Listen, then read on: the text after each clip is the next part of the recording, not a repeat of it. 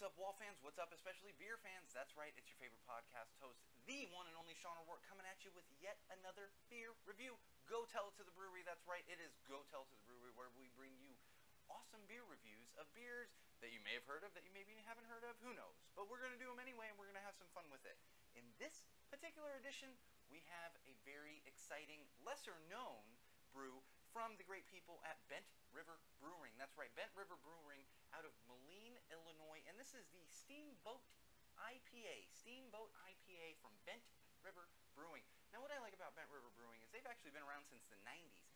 They opened a storefront in 1993 in Moline, Illinois. And then in 1996, they opened a bar and then a few years later became known as Bent River Brewing when they really started brewing their own stuff. And then in the early 2000s, like before 2010, is when they really took off and started going, I don't want to say mainstream because this is definitely one of the true craft brewers that you're not going to see like at the grocery store. Um, and in fact, I don't even know that you can find this like on the West Coast or the East Coast. This really is probably going to be, mainly a Midwest brewing company, mainly a Midwest brew.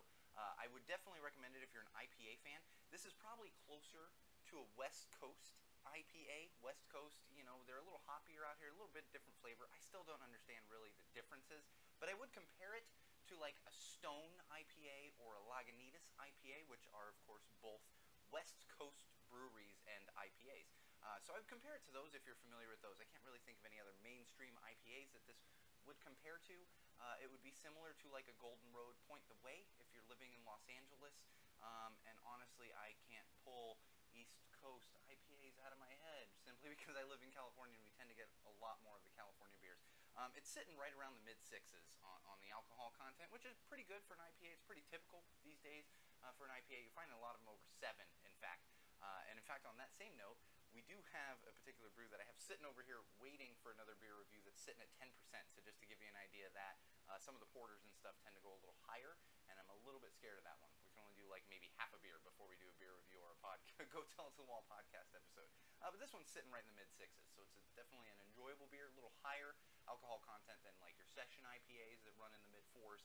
Uh, so it's definitely a typical IPA, but it is very tasty. I'm enjoying it. Mm the Steamboat IPA from Bent River Brewing.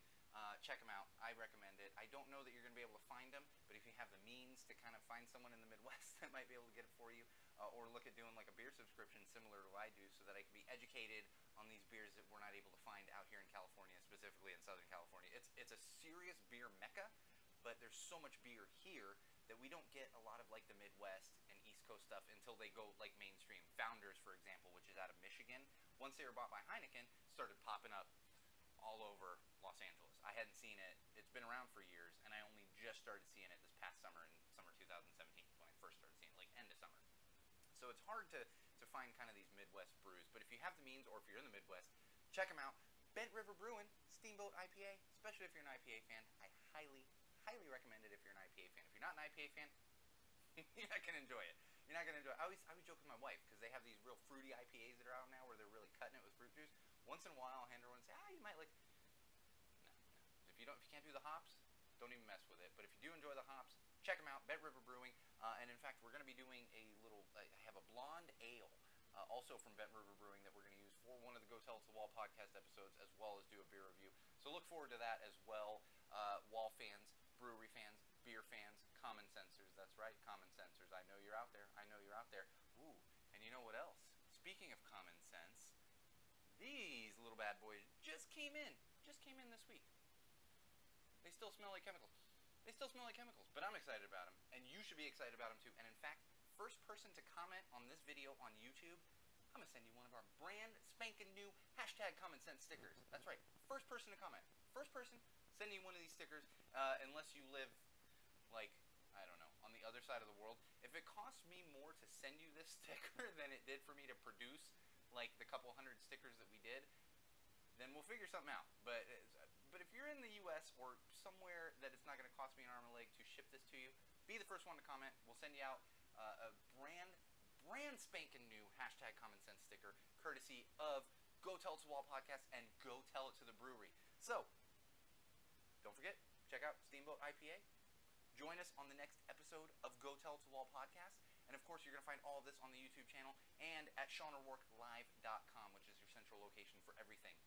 And remember, wall fans, brewery fans, no matter where you drink, no matter who you drink with, no matter why you're drinking, and no matter what it is you're drinking, always, always drink with common sense.